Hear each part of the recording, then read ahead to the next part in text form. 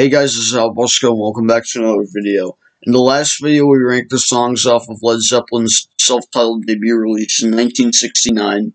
Now we're going to be getting to their sophomore release, Led Zeppelin 2, which is just incredible. And uh, in my opinion, I actually like this album more than uh, their debut, although the debut was awesome. I like this just a little bit more. I think it's somewhere in my top uh, 30 favorite albums of all time. Uh, somewhere in there, I don't know, but to me, this is just a really incredible album, and and for me, this album really set. Well, I really love their debut album a lot. Their debut album kind of set them on the map. I guess if you're a diehard fan of the debut album, then in your opinion, uh, that album set the map for them. But for me, and again, I still love the debut album. This album is, in my opinion, even better. And uh, just like on the debut, there's nine songs on here and I love every single song on this album, but something has to be at the bottom. And out of all the albums that I ranked the songs off of for Led Zeppelin, uh, this was probably the most difficult, along with um, Led Zeppelin 4, Houses of the Holy, uh, and Physical Graffiti, somewhere um, along those albums also. Uh, I really love this album a lot, and this is one of my favorite albums of all time, like I said. And again, uh, this is very difficult to rank, so let's just get into this. And I know there's probably going to be, um, uh, you know, uncommon, or not uncommon, but, well, yeah, I guess uncommon. Uh, well, I mean, like, interesting opinions from me towards regular Zeppelin fans. And, uh, especially one of them, but we'll get there when we get there. But, um, there are nine songs on here, and again, I love every song on the album, but something has to be at the bottom. So let's get into this. Coming in at number nine for me, uh, which I still love this song a lot. I can listen to this song anytime. I, I actually never knew there was a gong in the beginning of this song. The Lemon song. A very, very silly song, also. Uh, I really love um, the the blues riff in the beginning. It's so awesome. Uh, and then after that, the bass comes in, and um, you know John Bonham's drumming is incredible as always. And um, yeah, it's really a perfect song. Uh, Robert Plant does a great job on here, also on vocals. Uh, yeah, it's just another really great song. Uh, but it's my least favorite on um, Led Zeppelin 2. Probably always has been, I'm not sure. But I've always loved it a lot. So that's uh, coming in at number 9 for me is the Lemon song. Coming in at number 8. Now, number 8 and number 7 really go in go together, so I can't really uh, separate them when I rank this. Kind of like with Sergeant Pepper's Lonely Hearts Club Band, and with a little help from my friends, as well as We Will Rock You and We Are the Champions for Queen, uh, and, you know, many others. Um, but number eight for me is Living Loving Maid, She's Just a Woman. This is a really great song, and Jimmy Page uh, himself said this is the worst Led Zeppelin song. like, really? This is a great song. I uh, and the riffs on here are killer. I love Robert Plant's vocals. They're one of the highlights of the song, in my opinion. I really love his vocals. Um, the bass is awesome, and uh, John Bonham's drumming is just again. You can't really go wrong with Bonzo because he he was the master, and definitely in my top three favorite drummers of all time. I don't know who my favorite is. It's either him, Ringo, or Neil Peart. One of those three. I don't know, but um, but yeah, "Living Loving Maid," she's just a woman. A great song. All right, now I'm probably going to get some flack uh, for this, um, and uh, at number seven, and I know a lot of people will probably rank this higher. I love this song to death. I can listen to it anytime. One of my favorite guitar riffs of all time. One of my favorite guitar intros, Heartbreaker. I know I'm going to get a lot of flack, but um, it's just my opinion. I really love uh, his, again, Robert Plant's vocals uh, are amazing on here, and uh, I love again the guitar. Jimmy again Jimmy Page, another phenomenal guitarist. Uh, the bass is just stupendous, and the drumming is again John Bonham. How, how can you not love it? The drumming is so cool. I, I I remember trying to play this on drums before. It's pretty cool to play on drums. Um, so yeah, that's uh, again probably uh, um, a controversial choice to put Heartbreaker at number seven. I know a lot of a lot of people would probably put it higher. I still love it. Um, but for me, it's at number seven. So coming in at number uh, seven, going to be Heartbreaker, even though I love it. I also wanted to mention for uh, Living Loving Maid, She's Just a Woman.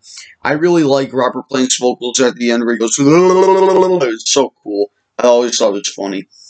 But uh, yeah, that's just something I wanted to mention. So, where were Oh, yeah. Coming in at number six, another great song that, again, probably most fans would probably have this higher. Uh, I can't argue because this is a great song, criminally underrated too. What is and what should never be. Um, an incredible mellow song. Uh, I love it a lot, and you know I love how the songs, the, the how this song is quiet and then they get rocking like seconds later. And Bonham's drumming is the same. Does that that that like ballad type drumming where he has the the stick on the right stick on the right cymbal and he he has the left stick on the snare drum, but uh he hits he holds it so it hits the rim. And when they get into the rocking section, it's still the same thing. Um, but I, that's one of my favorite parts of the song. I also love the the, the guitar in it. It's just incredible. Uh, and the lyrics are uh, one of my favorite Led Zeppelin song lyrics. Uh, easily, I've always loved the lyrics on the song, and I've always loved the song. And that's what is and what should never be coming in at number six. Again, could rank higher in the future, but right now it's going to be at number six. Coming in in the top five, or we're in the top five, I should say, but coming in at number five, one of my favorite album closers of all time, one of my favorite blues songs of all time. You know what it is? Bring It On Home. Again, you know, with the uh, plagiarism thing. Oh yeah, I should have said so with the um the Lemon song also. But uh, Bring It On Home is just a great song. I've always loved um this song. Uh, I love the the you know the bass in the beginning. It's just awesome, and you know the harmonica is awesome, and uh you know Robert Plant's interesting vocals. Like I don't know how he got they got it to sound like that, but it's awesome. And after a minute and a half of that intro is over, you get some of the best instrumentation I've ever heard in music. The guitar riff on Bring On Home is one of my favorite. The awesome. I loved it a lot, and I remember watching um the song remains the same live uh, uh live video concert wherever it is somewhere over there in the uh, DVD collection. But I remember uh, they would play that guitar riff before Black Dog, before they would play Black Dog. I always thought it was cool. Uh, but that's uh, bringing on home coming in at number five, and at the end they end it awesome with um, you know Robert Plant just going with the harmonica. I can't make harmonica sounds. Uh, but that's bringing on home coming in at number five. Coming in at number four, another great song, which is um a a, very, a huge fan favorite uh from most uh people uh for most Zepp fans. Ramble on. I've always loved Ramble on. I love the beginning Robert Plant's vocals some of my favorite. I love Ramble On. I love that, and the guitar is awesome. Bonham's drumming is just incredible, also, and I really love, uh, you know, the bass is incredible, also. So, uh, what more is there to say? But awesome! It's a great, it is an incredible song. I love Ramble On, and I'm rambling on by talking by ram. You know what I mean? I'm rambling on by rambling about Ramble On. But I don't know what I. You know what I mean. But that's Ramble On coming in at number four. All right, so top three. Now, coming in at number three, I know I'm going to get a lot of flack. How could he have Heartbreaker at number seven and, you know, this at uh, number three? It's just my, first of all, it's my opinion. Uh, please feel free to share your opinions in the comments below. I'm sure you like this also. I mean, uh, now I now there's a reason why I love this song so much. It's not really a song, but you, you know what I'm talking about now, though. I'm a percussionist, a drummer, and uh, I always love drum solos in songs. So there, if there would be one, there would be a drum solo that would rank high. If you had a drum solo on an album, like a classic rock album, and if you uh, told me um, that there's going to be a drum solo and you should rank the songs off the album, chances are it could rank high, uh, especially with this. Uh, coming in at number three, Moby Dick, named after um, uh, the novel uh, Moby Dick. But I love this guitar solo. I remember trying to play. I remember trying to play Moby Dick. There's no way I can do it. Bonham can do it well because he was incredible. Bonham, rest in peace. You were awesome. But uh, no, I lo- again the guitar riff in the beginning is awesome, and the guitar uh, the guitar riff in the outro, and uh, I love um, Bonham's fills at the end of the song. But that that drum solo he was playing and I remember and the song remains the same. You got to see him. He he was like, forget the drumsticks. I'm just gonna play with my hands like bongos. It was insane. Uh, and I was like, wow, he can do whatever the hell he wants because he's John Bonham for crying out loud. But that's Moby Dick coming in at number three. That's my little story why uh, I rank drum solos high because I'm a drummer myself. Uh, but I love Moby Dick. And I know a lot of you Led Zeppelin fans love it, probably would rank that at the bottom. But I have a huge soft spot for this song. But the top two are just incredible because we have two songs left and they are just. One of them is definitely in the top 10, but another one, I don't know. Definitely, probably in my top 20 somewhere. Number two, you know, if I ever get married, uh, this is a song I would want at my wedding. Um, I really love this song. Either this or maybe another one, I don't know. But uh, coming in at number two, Thank You. This is just a gorgeous song. One of the most beautiful songs I've ever heard. Robert Plant's vocals. This is about his wife Maureen. Uh, well, wife at the time, Maureen. Before I, I believe they divorced or something like that, uh, which is sad, unfortunately. But um, yeah, "Thank You" is a really beautiful song. I've always loved it, and I've always had a huge soft spot for it. I love the organ. I love the guitar in the beginning. I've always loved this song a lot. So yeah, if I ever get married, that'll be that'll that'll be a choice uh, for a wedding song for me anyway. But my favorite song on Led Zeppelin 2, and I know a lot of people um, would also agree with me uh, after after some controversy. But number one for me, what other song can it be other than a whole lot of love?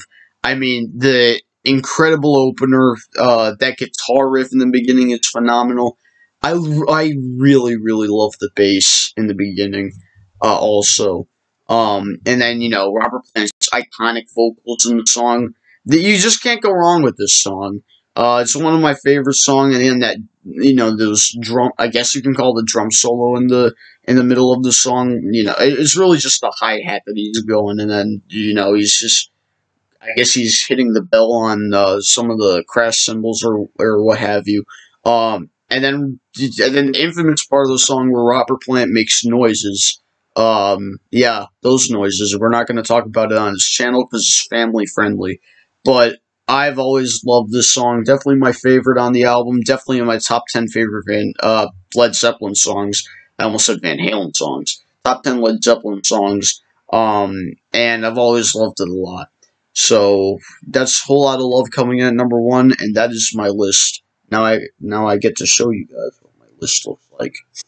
Only in case if you forgot even though that was 13 minutes and 15 seconds ago. Because the time's there. Anyway, that was Led Zeppelin 2. Strong album. I lo- I've always loved Led Zeppelin 2. Um, definitely my favorite at this point. Um, I've always, uh, well, I mean, Led Zeppelin 1, again, that's awesome, but Led Zeppelin 2 is just, it really hits close to home because this is a, an incredible album.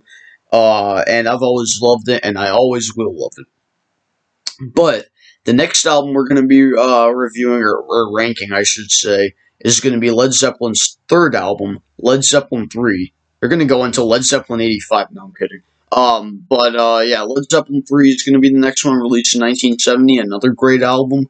Uh, and um, one of the less popular uh, albums by them. I, I always uh, viewed Led Zeppelin 3 as the underrated gem in their discography. I mean, if you exclude of the first six albums, that that especially and that and Houses of the Holy especially are underrated. Um, but I really love Led Zeppelin 3 and that's what we'll do to, uh hopefully tomorrow. Uh hopefully uh I can bring you guys that video tomorrow. Uh and I know my hair's a mess, you probably look and get a haircut or something like that. I will in I will in the future. Calm down. But anyway, that was Led Zeppelin 2. Uh, please leave a like, comment if you want, view my videos, and of course subscribe, and hit the bell. Thanks for watching this video, guys. This has been Howbuska, signing off. Stay safe.